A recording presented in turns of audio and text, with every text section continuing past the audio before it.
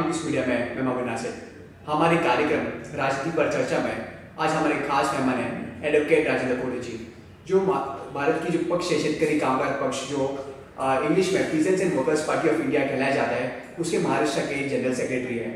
इस खास संवाद में हम उनसे पूछेंगे, जो आज हमारे देश में वर्तमान समय में, जो किसान का इशू बड़े पैमाने में, उसके बारे में संवाद होगा कि उन्होंने पॉलिटिक्स में कदम रखा, इसके बारे में संवाद होगा और जो भारत में आज जो भी वर्तमान समय में, जो जो त्रासदी हमें देखने को प्राप्त हो रही हो जीएसटी हो डिमोनेटाइजेशन हो, या फिर कम्युनल विचारधारा का जो एग्रेसिवनेस है, ये सब सवाल आज हम एडवोकेट राजेंद्र कोहली से पूछेंगे। सर, बहुत बहुत स्वागत है सर आपका अपनी इस मीडिया में। एडवोकेट कोडे, तभी हम भारत की और सियासत, भारत की जो राजनीति है, सियासत के बारे में बात करते हैं, सर तो इसको हम दलदल कीचड़ समझते हैं। तो सर, आपको क्यों लगा कि जो दलदल कीचड़ की जो राजनीति है, इसमें कदम रखना चाहिए और इसको स्वच्छ करना चाहिए? सवाल यह है कि पॉलिटिक्स को दलदल समझना ये एक दकियानुसी ख्याल है। ये कोई प्रगतिशील ख्याल नहीं है। क्योंकि हमारी हमारा जो संविधान है वो संविधान कहता है कि हिंदुस्तान का कारोबार चलेगा वो तीन खंभों के ऊपर तीन पिलर के ऊपर। एक है लेजिस्लेचर जहाँ पर कानून बनेगा। और दूसरा है हमारा एडमिनिस्ट्रेशन जहाँ पर वो बने हुए कानून के ऊपर अमल होगा। और तीसरा है जुडिशियरी जो अमल नहीं करेंगे, उसको दंडित करेगा, उनको शासन करेगा। तो पहली बात तो जहाँ पर कानून बनता है, वो काम करना, उस हाउस में जाना, यानी राजनीति करना। तो राजनीति को दलदल बोलने वाले जो लोग हैं वो असल में दलदल से जनता को बाहर निकालने के लिए नहीं चाहते। वो चाहते हैं कि दलदल हमेशा रहे। असल में दलदल से बाहर निकालने का एकमात्र मार्ग जो है, वो राजनीति में अच्छे लोगों ने जाना चाहिए। इन लोगों ने जो है विधिमंडल के अंदर जाना चाहिए, वहाँ पर जनता के हित में कानून बनने चाहिए और जनता के हित में कानून बनाकर जनता को दलदल से बाहर निकालना चाहिए। ये काम करने के लिए जो सबसे अहम रास्ता है वो पॉलिटिक्स का है राजनीति का है। राजनीति दलदल नहीं तो राजनीति जनता को दलदल से बाहर निकालने का रास्ता है। जी। एडवोकेट आपका जो विचारधारा शेतकरी कामगार पक्ष के साथ क्यों मिलता है क्यों जुड़ता है? क्योंकि आप एक बड़े चेहरे हो और मार्च की राजनीति में आपका एक बड़ा दबदबा है। सर आप चाहे तो कौन सी भी पार्टी एनसीपी कांग्रेस दूसरा पक्ष भी आप ज्वाइन कर सकते हैं। सर आपने क्यों शेतकरी कामगार पक्ष को चुना? तो मैं जब कॉलेज में था, उस वक्त स्टूडेंट्स फेडरेशन ऑफ़ इंडिया इस संगठन से जुड़ा। और बाद में अभ्यास करने के बाद हमें मालूम हुआ कि इस देश में मजदूर और किसान, इन दोनों का यूनिटी होकर जो लड़ाई होगी, जो संघर्ष होगा, उस संघर्ष से जो निचोड़ निकलेगा, वही इस देश को एक मुकाम पर लेके जाएगा, विकास के चट्टान पर लेके जाएगा। और मजदूर और किसानों का विकास के बगैर इस देश का विकास अगर कोई बोलता है तो वो खोखली बात है।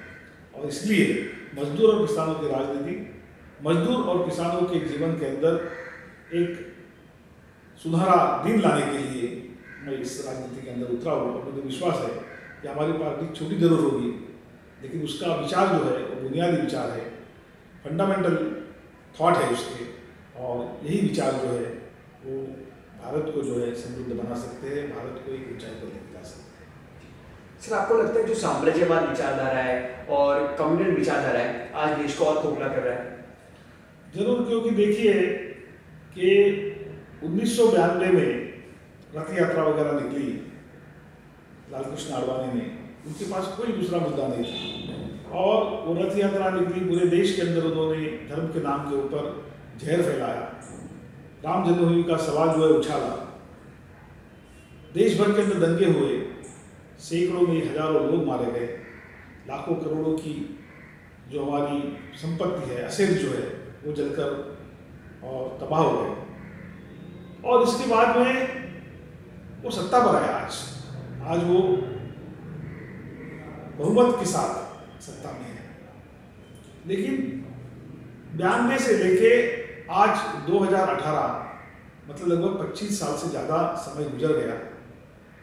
राम मंदिर का सवाल जिस दिन था, उस दिन जो पैदा नहीं हुआ, वो लोग की संख्या आज के मतदाता में तीस प्रतिशत से ज़्यादा है। राम मंदिर का सवाल तो हल नहीं हुआ।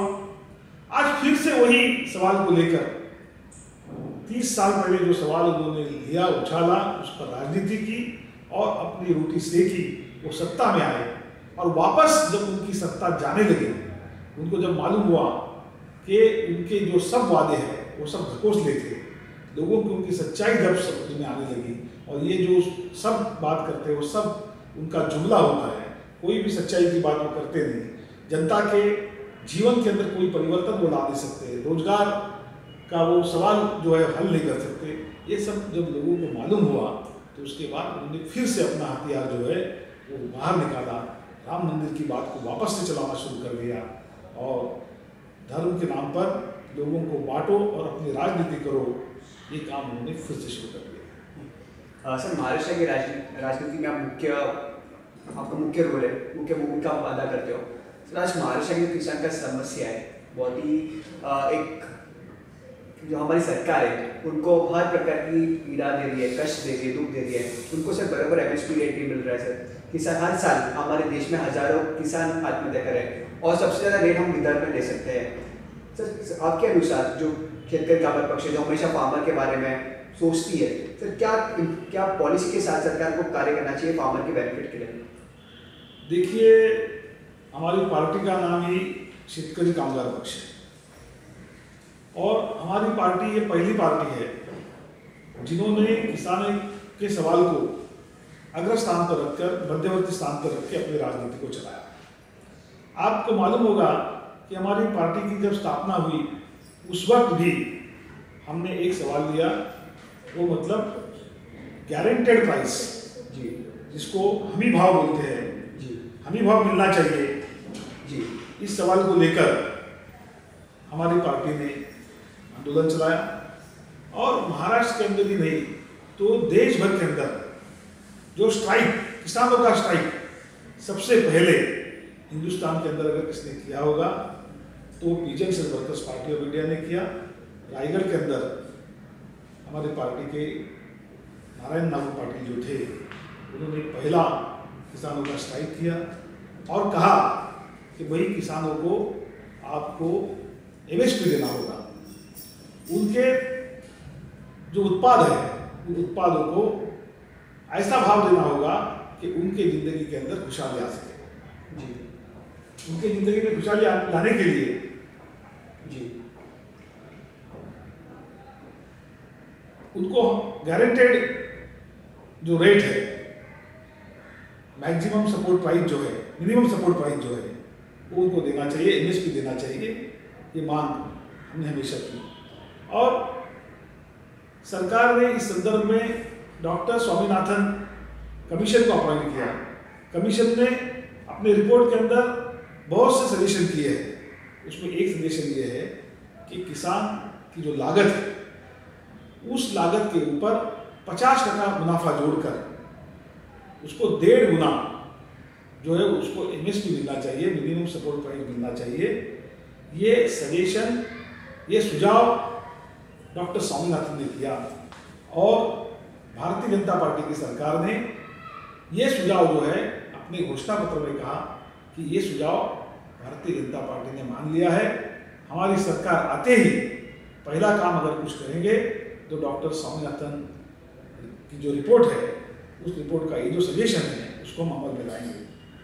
उन्होंने वो अमल में तो लाया नहीं। इरीगेशन के ऊपर जो खर्च करना चाहिए, वो खर्च किया नहीं। खेती के ऊपर, खेती को मुनाफे में लाने के लिए जो उपाय करने चाहिए, वो उपाय किए नहीं।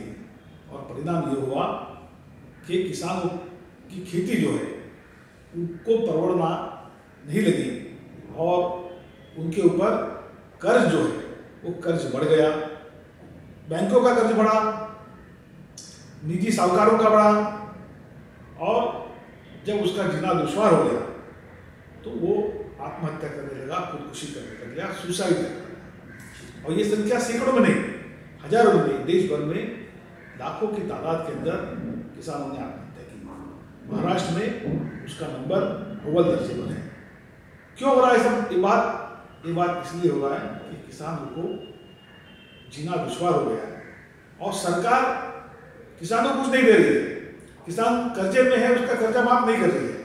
लेकिन खेती के कर्जे के नाम के ऊपर जो एग्रो बेस प्रोसेस इंडस्ट्री है, वो इंडस्ट्री जो मुनाफाखोरों की है, जो कैपिटलिस्ट लोगों की है, जो धन्ना से लोगों की है अडानी हो, अंबानी हो, रिलायंस फ्रेश मालूम होगा आपको तो रिलायंस फ्रेश जैसे लोगों को जो कर्जा दिया जाता है, जो फंड दिया जाता है, जो सब्सिडी दी जाती है, वो किसानों को दी जाने वाली सब्सिडी ऐसा कहा जाता है। और यही कारण है कि हमारे देश का किसान जो है, वो किसान आज जो है बहुत बड़ी तकलीफ़ में है। उसका जीना दुश्वार हो गया है। हम बोलते हैं कि अनाज उगाने वाला किसान और बॉर्डर पर लड़ने वाला जवान, ये दोनों एक ही घर के दो बेटे होते हैं आज बॉर्डर पे का जवान और खेत पर का किसान, ये दोनों भी बेटे जो है, वो संकट में है और भारत मालूम रही है। सर, हम भारत की राजनीति के बारे में बात करते हैं। सर, एक, दो बड़ी पक्ष हमारे देश में, कांग्रेस और बीजेपी। और तभी इलेक्शन आता है, इलेक्शन से पहले वो दंगा फसाद करते हैं, सर। और या फिर इलेक्शन हो इलेक्शन के पहले वो पैसे बांट, पैसे बांटते हैं, दारू बांटते हैं, बिरयानी बांटते हैं। सबको लगता है जो पैसे की राजनीति है, ये अच्छे पक्ष को, अच्छे कैंडिडेट को डीमोटिवेट कर रही है। सवाल ये है कि हमारा कॉन्स्टिट्यूशन लिखने वाले डॉक्टर बाबा साहब अंबेडकर ने ही स्पष्ट कर दिया है कि हिंदुस्तान की जो राजनीति है, वो दो दलों की राजनीति नहीं होगी। यहाँ पर अनेक भाषा बोलने वाले, अनेक प्रदेशों में रहने वाले अलग अलग तरीके की संस्कृति में पलने वाले, अनेक धर्मों को मानने वाले, अनेक भाषा बोलने वाले लोग रहते हैं। और ज़ाहिर है कि ऐसे में यहाँ पर दो पार्टियों की सियासत नहीं चलेगी। तो यहाँ पर बहु पार्टियाँ होंगी। अलग अलग लोगों के अलग अलग सवाल होंगे और उनके हल के लिए अलग अलग तरह के आंदोलन होंगे। तो इसलिए अलग अलग पार्टियाँ भी होगी अलग अलग दल होंगे अलग अलग तरह के संघर्ष होंगे। लेकिन आज जिस तरीके से भारतीय राजनीति को दो दलों के अंदर बांटने की एक साजिश बड़ी बखूबी के साथ की जा रही है, उसको रोकना चाहिए। और मेरा जहाँ तक ख्याल है कि कांग्रेस हो या भारतीय जनता पार्टी, हमारी पार्टी ने इन दोनों के जनता विरोधी जो नीतियाँ हैं उन नीतियों के खिलाफ हमेशा संघर्ष किया है। लेकिन कभी भी एक बात को ध्यान रखना पड़ता है कि जब मजदूर और किसानों के अंदर जाति और धर्म के नाम के ऊपर बाधा डालने वाली, फूट पाड़ने वाली राजनीति शुरू होती है तो उस वक्त एक पक्ष का हमको साथ देना पड़ता है। और इसीलिए आज भारतीय जनता पार्टी और शिवसेना इनका जो धार्मिकता के आधार के ऊपर धर्मांता के आधार के ऊपर एक पोलराइजेशन करने का जो नीति है, उस नीति के खिलाफ सभी सेकुलर लोग, सभी धर्मनिरपेक्ष लोगों को एक होना चाहिए और उसके अंदर कांग्रेस और राष्ट्रवादी को भी साथ में लेकर सबसे पहले जो पहला दुश्मन है, उसको परास्त करना चाहिए, उसको हराना चाहिए भारतीय जनता पार्टी को हराने के लिए सभी जो सेकुलर फोर्सेस है, उसमें कांग्रेस राष्ट्रवादी भी आए, आई, आती है, इनको साथ में लेकर पीजन वर्कर्स पार्टी एक गठबंधन बनाना चाहती है और इन जातिवादी ताकतों को परास्त करना चाहिए सर मैंने कहा जून और जुलाई के दरमियान आपने ग्रेजुएशन फोरम से इलेक्शन लड़ा था, एमएलसी के लिए, सर। सर, हर पार्टी कांग्रेस हो, आम आदमी पार्टी हो एमजेपी हो जितने भी सेक्युलर पक्ष ने पक्ष ने उन्होंने आप, आपको सपोर्ट किया था। सर आज का एजुकेशन क्वालिटी है एजुकेशन सिस्टम है इसको आप कैसे देखते हो? और क्या क्या परिवर्तन इसमें होना चाहिए? अभी 2018 के जून में मुंबई ग्रेजुएट काउंसिल का इलेक्शन हुआ। उस इलेक्शन के अंदर सभी सेकुलर पार्टियों की ओर से मैं उम्मीदवार था। लेकिन दुर्भाग्य की बात है कि इस इलेक्शन के अंदर शिवसेना के प्रत्याशी जो है, वो विजयी हो गए और मैं उस इलेक्शन में हार गया लेकिन सवाल यह है कि पहले इलेक्शन में शिवसेना का प्रत्याशी जो है, वो एक तरफा जीत जाता था। उसके खिलाफ कोई विरोधी दल खड़ा ही नहीं होता था। इस वक्त हमने पहल की, कोशिश की। और मुझे उम्मीद है कि असल में जो कम्युनल विचार के लोग हैं, उनसे ज़्यादा ताकत इस देश के सेकुलर लोगों की मुंबई के अंदर है। लेकिन वो एकजुट नहीं है, उनके अंदर विश्वास नहीं है। और इस इलेक्शन के अंदर जिस तरीके से एक रणनीति बनानी पड़ती है ग्रेजुएट्स का रजिस्ट्रेशन करना पड़ता है। और रजिस्ट्रेशन करने के बाद उनको वोट में तब्दील करना पड़ता है। वो काम करने के लिए जो एक व्यवस्था होनी चाहिए, वो व्यवस्था हमारे पास नहीं थी। और सेकुलर लोगों के अंदर एक यूनिटी और एक विश्वास जो पैदा करने की बात है, उसमें शुरुआत हो गई है, लेकिन वो काम पूरा नहीं हो सका। अगली वक्त उम्मीदवार शायद मैं हूँ या नहीं रहूँ, लेकिन सेकुलर पार्टी का सेकुलर विचारधारा का उम्मीदवार जो है, अगले ग्रेजुएट कॉन्स्टिट्यूंसी के इलेक्शन में ज़रूर कामयाब होगा। ठीक। सर, अभी आने वाला आम चुनाव है। सर बड़ा चेहरे आप महाराष्ट्र की राजनीति में क्या हम देख सकते हैं कि एडवोकेट राजेंद्र खोड़े लोकसभा से लड़ेंगे? हमारी पार्टी ने एक निर्णय लिया है महाराष्ट्र हमारी पार्टी जो है, वो क्षेत्रीय पार्टी है। हमारा काम सिर्फ़ महाराष्ट्र के अंदर है। हमारी पार्टी का नाम पीजेड कांग्रेस पार्टी ऑफ़ इंडिया लेकिन हमारा जो प्रभाव क्षेत्र है, वो सिर्फ़ महाराष्ट्र के अंदर है। और हमने निर्णय लिया। असल में हम कुछ सीट लड़ सकते थे, लेकिन हमने निर्णय लिया कि अब सेकुलर पार्टियों के वोट में बंटवारा नहीं होना चाहिए। और सेकुलर पार्टी एक होकर उन्होंने भारतीय जनता पार्टी को हराना चाहिए। ये निर्णय के लिए हमने हमारे प्रभाव क्षेत्र के अंदर भी चुनाव नहीं लड़ने का निर्णय लिया।